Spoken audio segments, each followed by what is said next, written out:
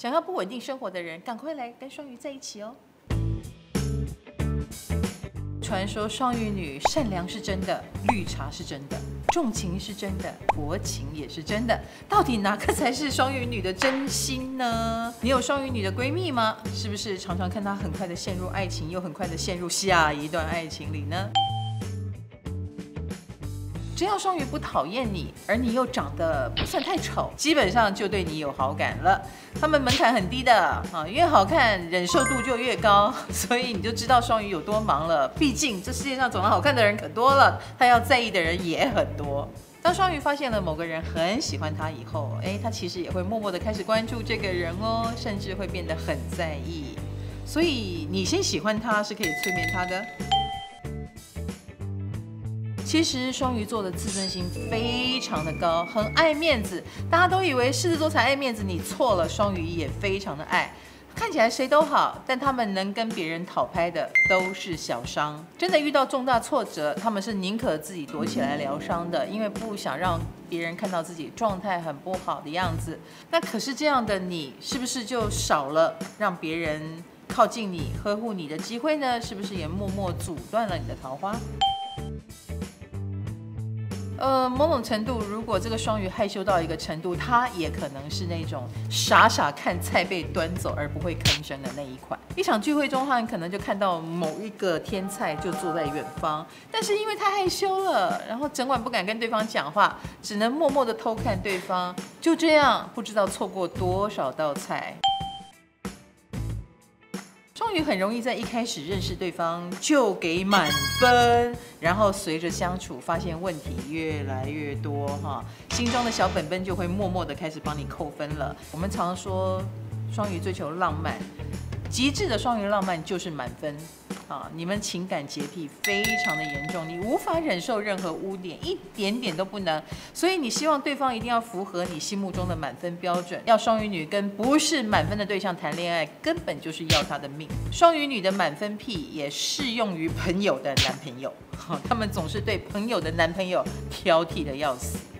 没办法，他太犀利了，他有一个火眼金睛，他觉得天啊，我觉得你很不错，你怎么会跟这种人在一起？常常把朋友搞得很头痛。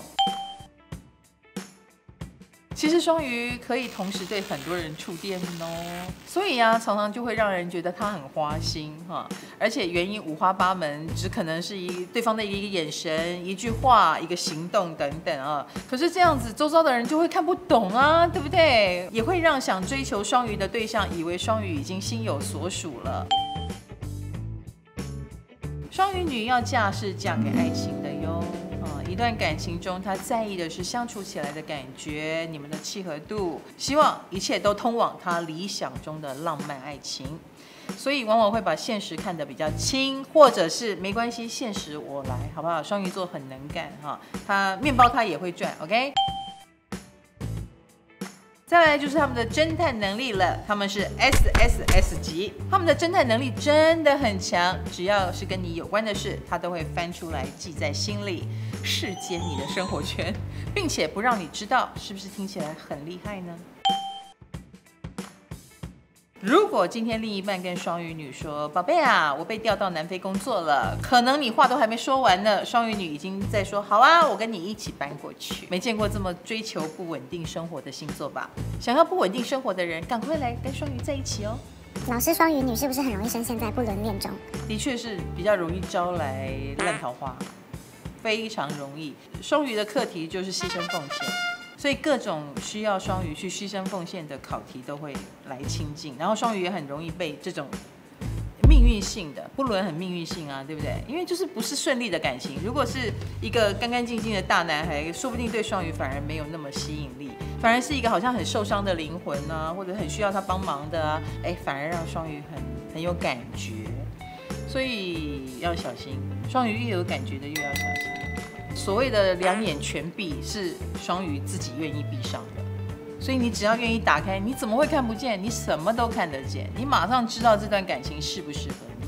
其实双鱼心里有数的，双鱼有理性的那一面啊，所以开关在你的手上了，就看你怎么用，稳定好不好？我们学习金牛座的无聊和稳定。嗨。我是唐启阳，喜欢这支影片吗？喜欢的话，请按赞、分享、转发，毕竟我是很重视业绩的哦。